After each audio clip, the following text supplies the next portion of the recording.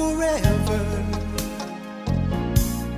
So each day I love you just.